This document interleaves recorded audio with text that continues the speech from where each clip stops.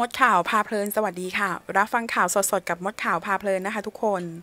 อิงฟ้าเคลื่อนไหวแล้วนะคะ หลังค่ายเพลงจ่อฟองพันล้าน จากกรณีที่นวัดได้ออกมาโพสต์ถึงค่ายเพลง ฟ้องร้องอิงฟ้าด้วยเงินจำนวน 1,000 ล้านบาท ข่าวผิดที่ถูกก็คือ 1,200 ล้านบาท และได้อ่านสัญญาของอิงฟ้าวราหะทุกตัวสนุกดีครับ คุณตำรวจนครสวรรค์ ล่าสุดนะคะ อิงฟ้าได้ให้สัมภาษณ์ซึ่งนักข่าวถามว่าเขาส่งมาแบบนี้ตกใจไหมอิงฟ้าบอกว่าก็แอบตกใจนะ เพราะว่าในชีวิตไม่เคยมีหมายสารมาก่อน ก็มีการเตรียมใจไว้ตั้งแต่แรกว่าต้องเจอค่ะ ถามว่ากังวลไหมก็มีกังวลนิดนึง เพราะไม่เคยเจอสถานการณ์และไม่เคยเจออะไรแบบนี้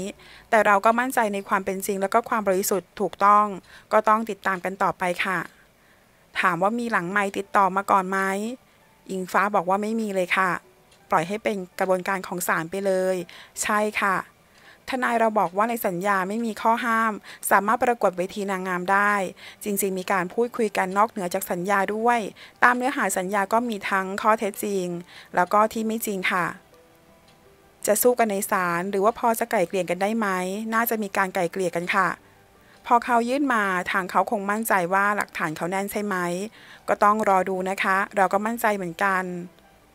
ก็มีทั้งความเป็นจริง แล้วก็ข้อความที่ไม่จริง ก็ต้องดูว่าเกินจริงมากแค่ไหน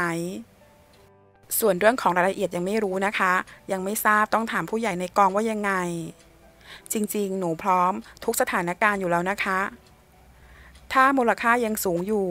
ยังอยากจะไกล่เกลี่ยหรือเปล่า ซึ่งอิงฟ้าบอกว่าเดี๋ยวต้องรอดูดีกว่าค่ะ เชื่อมั่นในความถูกต้องค่ะ เมื่อถามว่าพร้อมชดใช้หรือเปล่า อิงฟ้าบอกว่าไม่แน่ใจค่ะ เท่าที่ฟังก็คือทำงานชดใช้ค่ะ ส่วนค่าเสียหายก็ชดใช้ในการทำงาน กังวลไหม